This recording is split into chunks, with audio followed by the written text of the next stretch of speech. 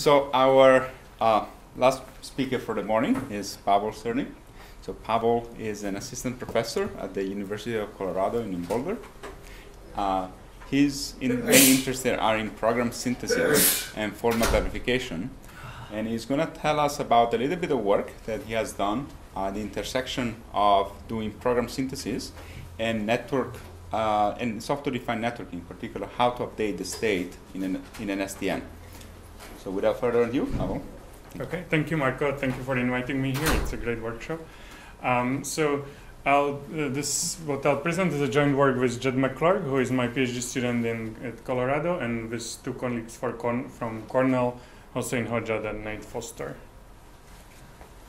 Uh, so okay, um, uh, this is the view of SDN. So I will not go through too many details uh, at, at, this point, right? So we have a controller that can uh, send commands to these switches, and it can programmatically configure the network. And so, so to this end, there, there, there have been many research and industrial proposals uh, for, for languages on, on how to do it. And one key problem that these languages have to do is to uh, one key problem that, the, that one needs to solve is the problem of network updates, right? And the problem is that you are in one configuration of a network, maybe this red one, where you forward things from H1 to H3. And you want to keep doing that, so to uh, keep forwarding packets from H1 to H3, but now go through the green path. So that's the update, going from the red path in this part of the network to the green path. Um, and so, uh, well, one needs to talk about what's happening during the time uh, you do the change, right? So the in OpenFlow, you can send commands to individual switches, and now you want to do it in a way. Uh, you want to update the individual switches in a way that still gives you reasonable guarantees uh, for for behavior of the network during the time you are updating. So one uh, one specification that, that that tells you what to do is uh, is called per packet consistency and it was proposed by Mark Reitblatt, Nate Foster, and other people. And it's called yeah per packet consistency and tells you that okay no matter what you do during the update you still want to maintain that every packet either goes through the red route or or the green route right? E even while you are changing the switches changing the routing tables at switches. Okay. And so they have proposed a mechanism to implement this and it's called two-phase commit uh, so that that worked great, but the the problem was that it was expensive in terms of the memory required on the switches. It required sort of doubling the memory on the on the critical switches on, on the path, which is not always possible.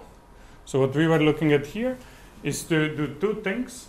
Uh, one is that uh, okay, have an, a mechanism that is more efficient in terms of the memory consumption, and two is uh, so to make it so that the um, that the specifications you you want to have for these network updates are more customizable.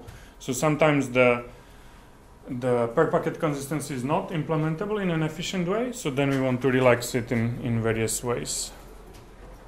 Uh, so our proposal is to have uh, so-called order updates, where we are where we are not uh, sort of requiring more rules or anything like that. What we are, our space is sort of, we are playing in finding the right order of updating the switches. Okay, and so to, to simply see that the order actually matters, so let's let us look at the example again. Let's have this, we are going from the red to the green, and we want to maintain H1, H3 connectivity. So if you do it in the wrong way, and you update A1, H1 now forwards through the green route. It receives still packets from H1, but now it sends them to C2, and then the packets are dropped because C2 has not yet been updated.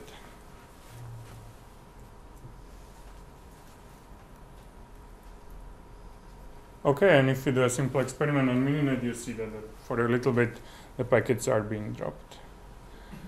Um, so our goal is to synthesize correct order update with respect to uh, specification I'll talk about.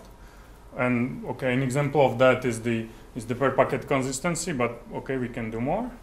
and our inputs to this to the synthesizer are is an initial configuration, the one like the red route where we were starting at, the final configuration. So this was the green route. Then the specification we want to maintain during the update, and the output is the update sequence, like the sequence of switches in, in the sequence in which you want to uh, update the switches.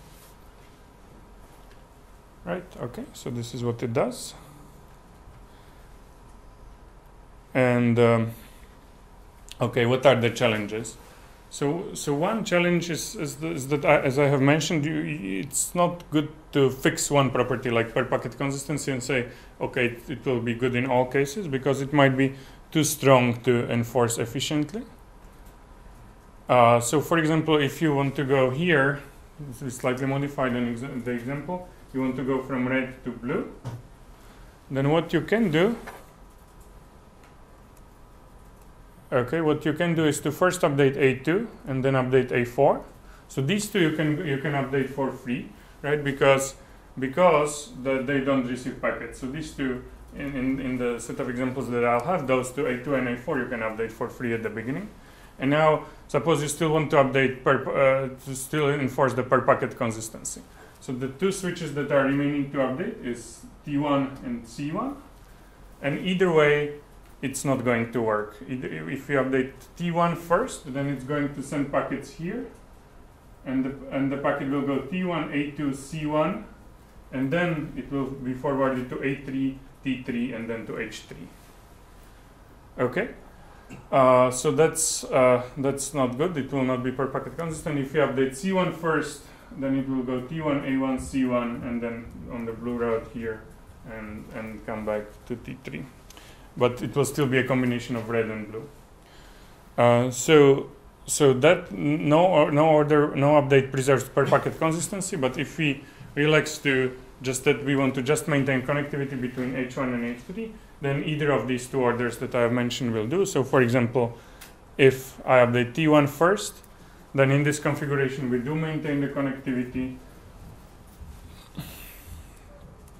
and uh, in the final one we uh, again maintain the connectivity between H1 and H3. Uh, but but okay, we needed to specify what we want. Like okay, we just the important thing was to maintain H1 H3 connectivity, so we need a specification language that will enable us to solve to, to tell that.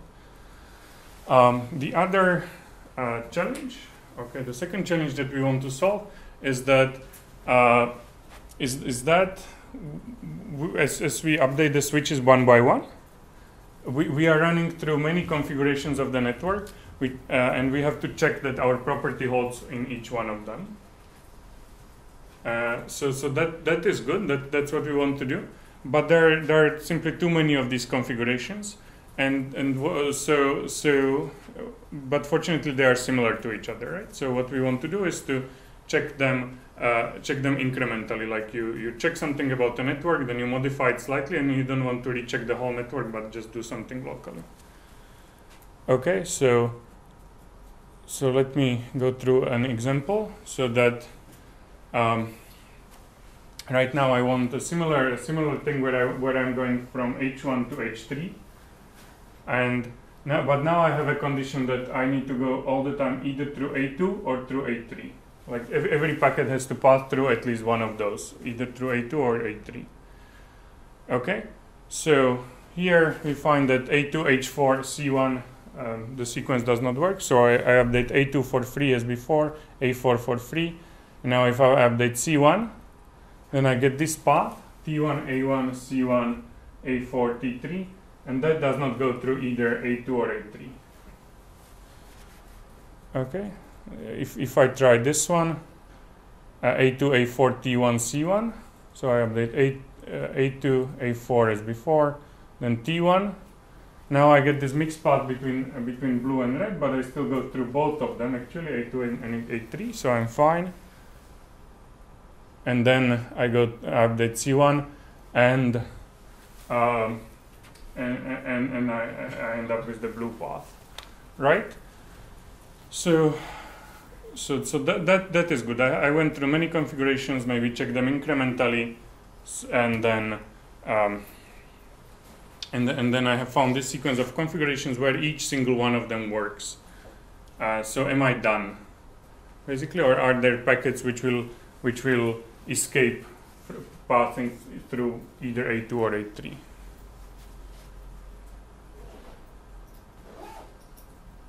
So, so, so that's a question for you.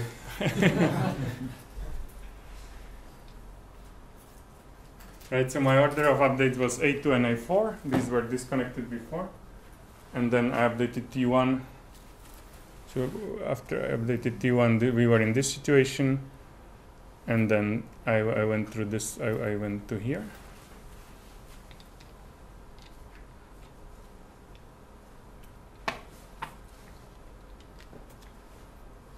So what about A1? You need to remove state. and So, so, so A, A1, A1, right? So A1 got disconnected uh, here when I, when I, I was, I was sending packets to A1. It went like this, and now, uh, now I'm starting to send packets through through A2. Okay. So, so in this configuration, the packets went through A3. Um, so that was fine. In the new one, they will go through actually both A2 and A3. Is there anything with the timing, like that you need to reason about? Yeah. Y- yeah. Okay. Uh, any any other specific uh, guess? So so what I need to reason about is that is this thing. Uh, so so that if w- about the packets that sort of interleave with the updates. Uh, so so that was a very good point, Marco. So so what happens is okay in in my sequence I update A2 then A4 and then there is a packet which this green dot that that start that, that is moving through through this path right? So that is good. The packet is moving oh, and I, I update T1 I update T1 and start sending packets there right? So now things are becoming clearer right? Because the packet is still moving and I might if I do things quickly th- things quickly I might update C1 so the packet that was in flight here uh, will now go through the updated C1 and then actually it will take this this path which was not possible in any in any configurations that I have I, I went through. Right? Because it sort it sort of went around and it was it was there in the network while I updated two switches. And it went through uh, through through actually the T1 and the non-updated version of T1 which sent it this way but then the updated version of C1 which sent it this way. Okay. Uh, okay. So um, so, so then um, So then is it- yeah. sorry, Is the problem that you, uh, you can survive a change kind of at any individual right switch, but as you add more switches, then right. changes that your, the- the original approach didn't consider? Right. So, so the problem that I'm trying to, you know, explain is this one that that as if if if you go and you update switches by, one by one, and you might think, you know, this this uh, is what I'm trying to sort of explain that you might think that that oh it's enough to check every configuration every resulting configuration in, in separation right? That you update the switch you go to a mm-hmm. new configuration and you check that all packets in the config- that configuration will be fine. You update that second switch and you think oh right again the third configuration. But there, there is there, there are packets which will interleave with these updates in the wrong way and they, they, they will be in their configuration which sort of never exists exists statically But they still get to their destination, right? the, so this one still get to their destination yes but my property was uh, in this example that they have to pass through either a2 or a3 so, so, so that that they will not do So are you worried of information flow properties or? Or, or, or may, maybe there's a firewall installed in A2 and A3, and so those packets were never processed, right? So, so the example is this, uh, right? So to see it again, right? So, uh, so, so this is the full example.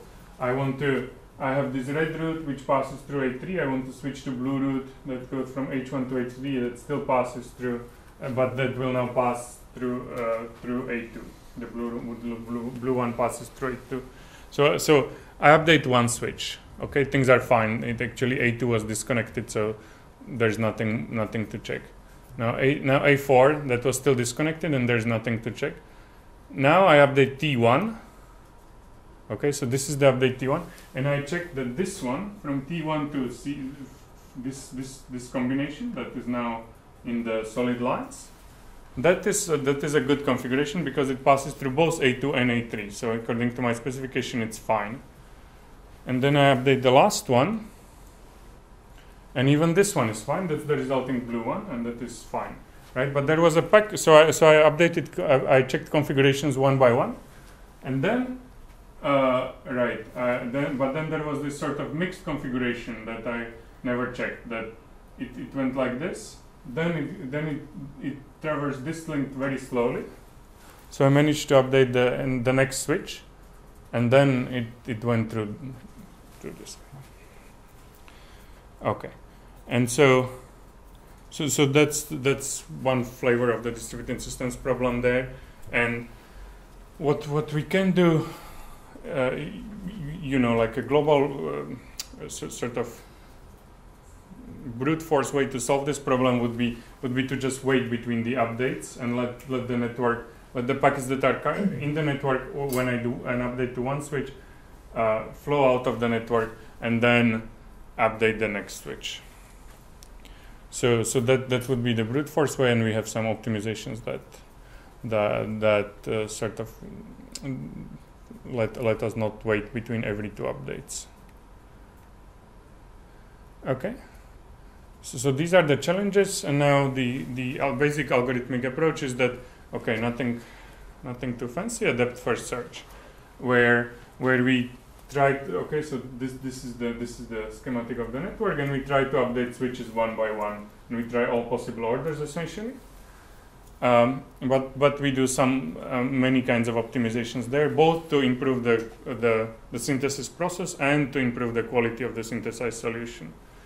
Uh, Right, so we start with all the switches being non-updated and we are going to the place where all of them are updated. And as, as I said, we, we, we are passing through these similar configurations. So we do the incremental verification where we check just the delta essentially between the configurations. And we use the counterexamples to prune, prune the search space and then we use some more optimizations to remove the waits I was talking about. So are you trying to synthesize a scheduling of where, how, when to make E- exactly, yes, switches in the network? Yes, yeah. And is it always possible, or is it because of latency that there might certain configurations that schedules that are impossible to synthesize? Uh, yeah, yes. So, so, so it's it's it's not always possible, right? So we might fall back to the to the original solution for consistent update, which is to use this two-phase commit. Uh, uh, right. So, so, so, so this is the algorithm. It's basically the depth first search. We are trying to update nodes one by one. That's this slide. Uh, we are we say that uh, we we have these counterexamples. So if we if you already know that a, con- uh, a configuration is wrong, then then we reject it immediately. Otherwise, we try try our model checking, uh, uh, try, try to verify that the new configuration is correct. If if it is, we can continue the first search. If not, uh, if if not, we uh, we add to our set of counterexamples. Like like the, the actually the reason the reason we, we learn the reason why that configuration fa- fails and adding that counterexample let, let us prune the search space quite radically and then then the last step is to run the wait removal heuristic um, so that we don't have to wait between every two updates so how do we check how do we specify and check properties in of network configurations uh, so, so the first thing is how to specify them. So we have, so we we uh, provide a specification language based on linear temporal logic. Uh, so, um, so the H1 H3 connectivity would look something like that. So a few words about that, right? So linear temporal logic is a complicated thing which has quite some unintuitive corners, but it actually is used for hardware verification And for that, people have many front end languages that compile into this linear temporal logic. Um, and uh, so, so, so, we can leverage that and have so, sort of more user friendly languages to face the users and then compile it back to this. Why linear temporal logic is good for us? So actually, let me let me go here. Because we, we want to reason about about properties of traces of pack, uh, traces uh, in the network of like what the uh, how the packet passes through the network where these nodes are switches and and this this gives the path of the packet. And so we can we can take say things like this right? So so in in this work we are interested only on on like the linear time uh, uh, properties of packets like what what the what the packets can visit on a uh, on a single pass through the network so we can say that oh eventually it reaches some port or or before it reaches some particular port it has to it has to traverse uh, some middle box let's say so this is this waypointing property and there is also the service chaining property. Uh, okay, you don't have to worry about about reading these formulas. What, what do the formulas talk about? Do they talk about uh, a packet? So The- they, so they, say the packet at this instant in time Uh-huh. has to have port S, and in some future state. Yeah. So if, if, it, if that is the case, then in some future case, case state the port will be D. So is the packet the target of the formula or, or the network? Like, this is the formula. So, so, so you know, th- this is interpreted o- over the network, right? So the formula you read it exactly correctly, and then I'm looking, I'm, I'm checking if that formula is true for all paths in the network. So the, the it's, the network is a graph. I, I'm looking through all on all paths through that graph, and I'm checking if what you said is true. Like if if, if I start at port S, then eventually on all such paths I will be at port D. This is for any arbitrary packet that is involved. Thi- This is this is for any particular yeah this is for for all all types of packets. So so what I so so this can of course be like like the atomic formulas the things things like this I can check uh, what what the port is and I can check I can match on any sort of fields in the packet header so that I can specify that for these type of packets if they start at this port they will traverse some middle box in the middle before exiting through this port. So presumably then you have a model of packets and how the field values influence their routing. Right, exactly. So, so, so the yeah, the net, the, the, the network has that, and and sort of yeah. So, so our model, okay, more precisely of what what we are model checking, is is the is the graph where you have where where where nodes are switches and they they the path are given by you know the topology of the network and the routing tables in the switches. Mhm. So you showed that some uh, problems are not solvable, because there's no sequence. Could it also be the third space is very large in some sense, like it's exponentially the size of the network? Uh, so, so the, the search space is, is very large. Um, yes, so, so, so for that I have empirical data that sort of say that, okay, we, we can scale up to th- thousands of nodes essentially. Does it also scale up to more, more and more, say, um, requirements so that, uh, say, you need to go through these certain nodes in certain order? Uh, so, so, so, so it does. We have tried sort of larger and larger formulas. So this, this, this one is actually like recursively defined so that we can make it arbitrarily large. And I'll show you a graph about that how it scales. I, mean, but but the problem is is like computationally computationally hard, exponential in the size of the formula actually. So so that that one doesn't scale.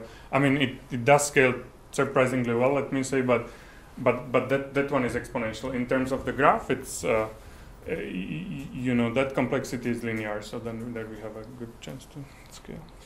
Do you make, uh, or maybe, wh- what assumptions do you make about the behavior of, say, the switches or things like that? When, I mean, can they buffer uh, changes or? uh, Uh, so so here here we can allow anything, right? Because we are just inter- interested in how how a single packet traverses the networks, right? Not about properties that that would say that oh, if two different ingress ports send a packet, then will will the first one reach first or something like that, right? So we don't need to model time that precisely. We can just look at, at the network really as, as just a graph with, without timing. Okay, so let me I'll tell you briefly ab about the technique, which is the incremental model checking. So, so here we leverage the fact to actually simplify the algorithm that, that correct networks don't have forwarding loops. So, so this is the only property that is sort of baked in that we, we say at the beginning there are no forwarding loops and, and what is baked in in our algorithm is that we check that at every step we do not create a forwarding loop. If we do, then that was a wrong update sequence and, and we move on to look to look for another update sequence. And so as long as it does not create a forwarding loop, then then for each packet type we have a the, the, the structure is just a DAG or a DAG-like structure. It's DAG, it's not entirely a DAG because because we model that uh, that at the, uh, the the way we model that the packet exits from the network is that we keep a, a self loop here, sort of it stays at that last node, and that that's just a technicality. But okay, so so what I want to show you is how to do the update incrementally. So I haven't talked too much about LTL, but uh, but but the the the key point here is that is that if uh, is, is that if we are in this uh, DAG-like model, uh, we can we can check formulas like these by by labeling the graph uh, uh, by labeling the graph with subformulas. So if I'm interested that either eventually I'm at I'm at the port A or I'm at the port B, then for each switch I can model I, I, I can I can label it by by what what subformulas of of the of of this of, of that formula phi hold there, right? So so maybe maybe maybe these these these bottom nodes are are where the propositions A and B holds. So those are some propositions about ports, right? Those are A, A, I'm interested in ports of type A and ports of type B. So they so those are the ports at the exit of the network that some some things hold there, and then oh sorry and then I and then I'm labeling each state by what what formulas hold there. So, for example, for example, here B holds, then eventually I can get to B that holds, and, and this whole thing is true as well. And then, okay, I'm just giving you a flavor of it. Then I can propagate this information back to the to the ingress ports essentially.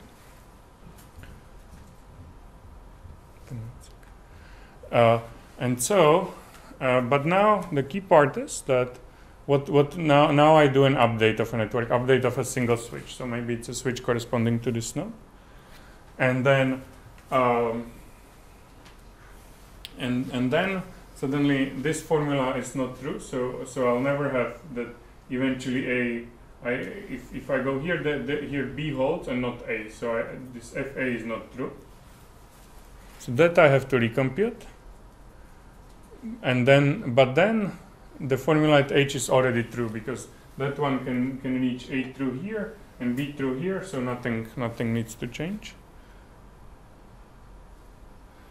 and then even if this was not the the topmost node the, the propagation can stop and uh, and and I can just label until things change. I do not have to relabel everything in the network. It's the incremental model checking part. And uh, okay, so, so so that that was the algorithm, sort of this depth first search, simple one, uh, where, where was the main contribution was was this incremental model checking thing, and the, uh, and sort of other standard optimization like counterexample um, based synthesis. Okay, so so yeah, the questions are entirely are entirely correct that like how, how does it scale and how does this perform versus the other approaches? That's what we looked at. Uh, how, how did we do it? So we looked at real world topologies.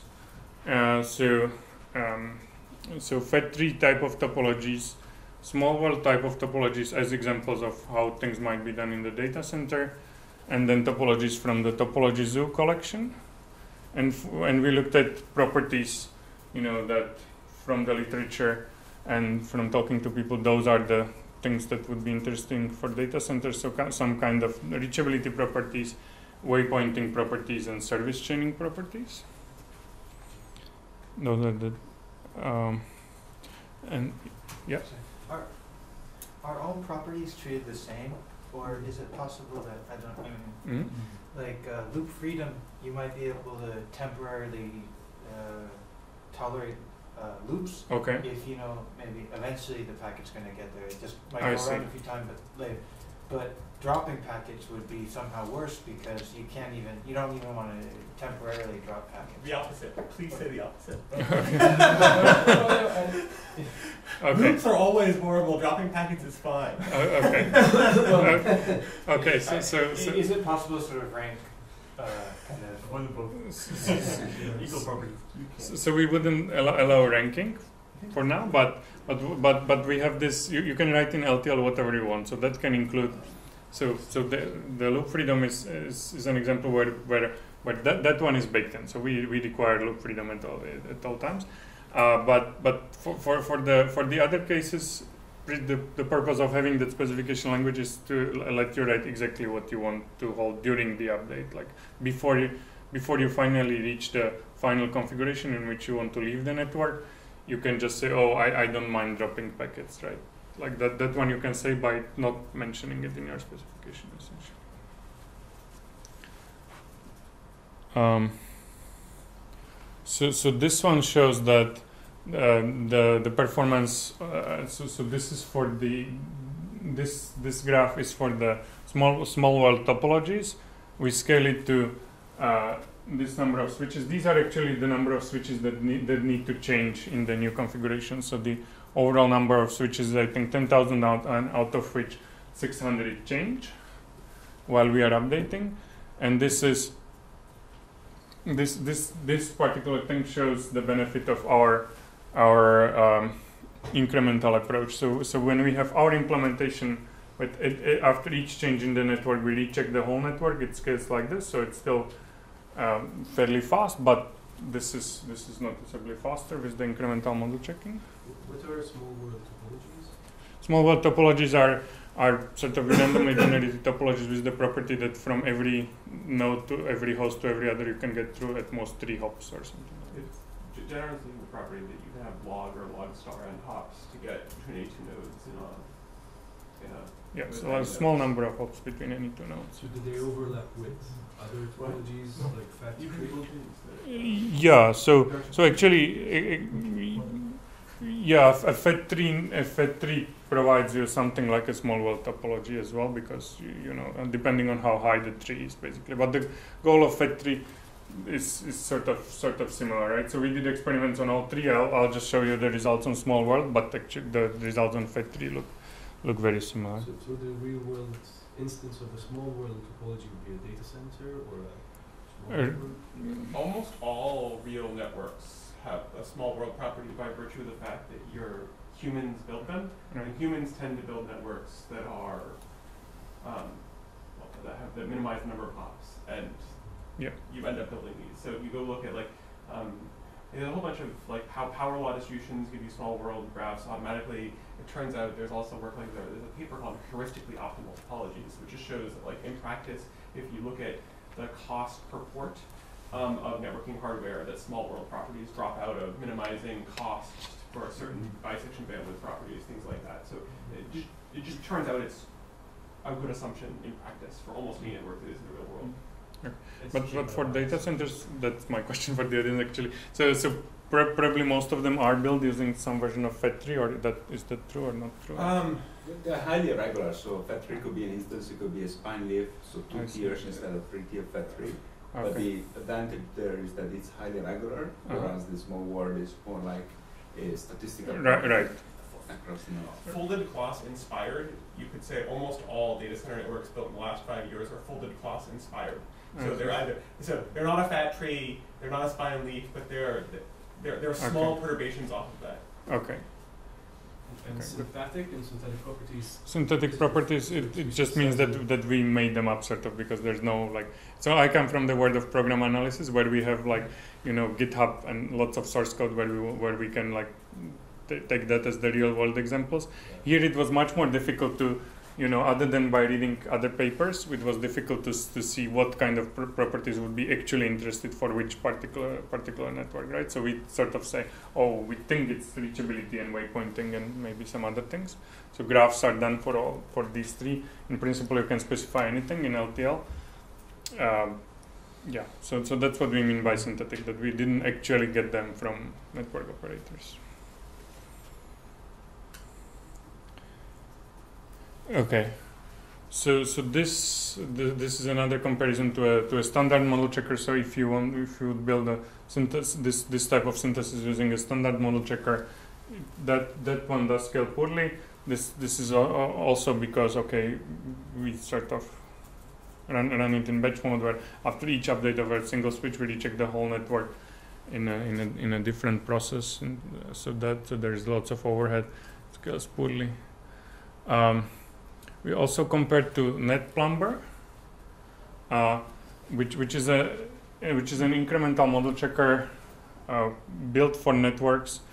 Um, I, yeah, so, so so so here the empirical comparison says that that our our our our scaled scaled like much better. Uh, so this one this graph is different from the from the talk and from the other graphs I have shown because here we uh, uh, here we update uh, rules one. Uh, so I was talking about as if we can update switches one by one, which I think is true in OpenFlow. There are some these bundles of rules that let you update multiple rules at once. And NetPlumber supports only updating rules one by one.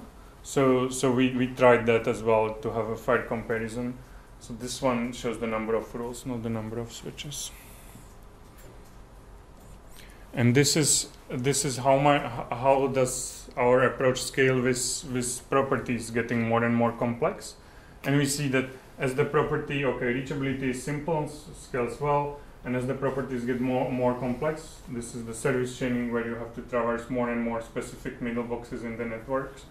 Uh, to satisfy the property, and the, the so the problem is that the formula gets larger, uh, so um, so so so it starts scaling. Uh, we we start to see scaling problems. Uh, just a quick question. Uh-huh. Uh, with the service chain, is, do you have like a number for how many services would be in that chain? Or? I, I I think this was done for three, so three services, and the the, the formula size was, um, okay, I don't. Yeah, there were probably around like I think it generated there. There's like nine sub formulas and it's really exponential in the terms of sub formulas. Uh, but but okay, so here these these 1,000 switches, 1,000 updating switches, so 10,000 switches, 1,000 of them are changing, and you can still do it in 150 seconds. So two and a half minutes. So that still seems reasonable. These are this is an interesting case, which are which are the examples designed to have no update. So in essence, for our approach, since it's doing depth first search, it's sometimes easy to find an update. It does it really quickly. Um, the problem is to okay look through all the space and say, say that there is no update. So here where he- he- here where all of our uh, here is where all of our search space pruning techniques like the counterexample based checking uh, show show up that even even when there is no update no possible update we can determine it quickly and then choose one of the fallbacks methods such as the two-phase commit proposed earlier uh, so th- this is this this is the related work so many people in this room know, know it actually much better so so we started with this consistent update paper by uh, Reitblatt, Foster, and others. There's lots of tools uh, for for network verification. We compared again th- against this one, uh, the NetPlumber, and then there there are tools for network updates uh, using uh, network updates si- similar similar to our approach. The difference is that and they concentrate on one particular on, on one or a set of particular properties. So let's say this one con- concentrates on waypoint e- enforcement just one property. Sort of they the, the property is baked in into, into their approach. There, there's no separate specification language. Uh, so sort of here the approach is for, for Dionysus the approach is sort of uh, that, that that starting from a property they generate dependency graphs and then start from there, which actually is very similar to our approach. The problem here is that uh, the problem here is that there's no algorithm to, to, to, to go from you know a property to its dependency graph. So that's actually a hard problem, which you, you know we, we get around it in, in, in some way, like by saying, okay, we specified in LTL and there are standard algorithms in LTL. Here, what's happening is that they start as a property, generate manually, say, okay, this is the dependency graph, and I understand that that's how it that's how it works. Um, and then, uh, okay, the, so so that's that's the biggest difference. But the dependency graph seems to be the, a key data structure and some some work that explains how to get these network dependency graphs from general properties would be actually seems to be a great target. Uh, uh, so okay, and, and this is this is the conclusion of my talk. So so we, we started with this as SDN update problem as a synthesis problem and developed an algorithm that through several new optimization optimization gets to a gets to a reasonable performance on realistic uh, on examples with realistic size. Okay, thank you. Thank you. All right. Um, so if there is any quick question, otherwise in the interest of time, I would suggest that uh, the remaining question, we take them during the last session of the day. Just one quick one. Uh, do any of those problems you talk about in flight packets disappear if you assume that all updates happen immediately at the same time? Actually, no, right? Because because uh, right, even if you can update all the switches at the same time, there, there would still be packets in the network. So they would see some of these switches not, not updated and some of them updated, and it's precisely the problem, right? The, the same problem. So yeah, but So I will complement that answer by also saying that there are some people that looked into this uh, problem area in the proposed time-based updates. So they argue that if you can get your network, all the devices to be sufficiently fine-grained, time-synchronized, then you can pre-program them with all the updates and then say, at this time in the future, please switch over to the new set of rules. So now you, has, you still have the problem, you need mo- memory over it, and you need to have a sufficiently accurate way to synchronize devices, but there's been some work in that area.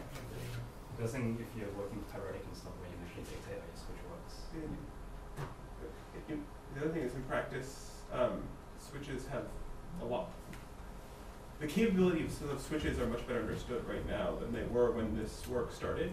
And so the idea of saving switch T space was based on the idea that you're using TCAMs and very fancy things to do it. And if you're instead using something more like, you know, um, MPLS, where you're basically putting a label, the label space in switches is almost, is, is in practice infinite.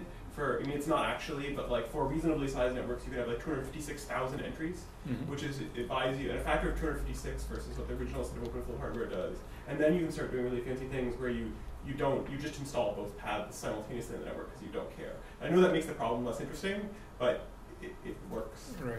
And Yeah. and it works really well, and it's fast, and I can understand it. Um, which I think that that's in practice what people tend to implement when they care about consistent updates right now. Um, and and MPL and sort of that, that's uh, uh, the an interesting thing to ask would be how you extend this to um, your understanding of what, what switch capabilities actually are in terms of their forwarding tables, like their capabilities, which is Mhm. like switches have, depending on the kind of rule you install, radically different amounts of rule space available to them, especially Right. modern switches, which would be interesting. Like, could you burn lots of rule space to make it easier in the common case, and then fall back to this when you run out of space, things like that. Yeah, that, that makes sense. All right, let us thank uh, Pavol again.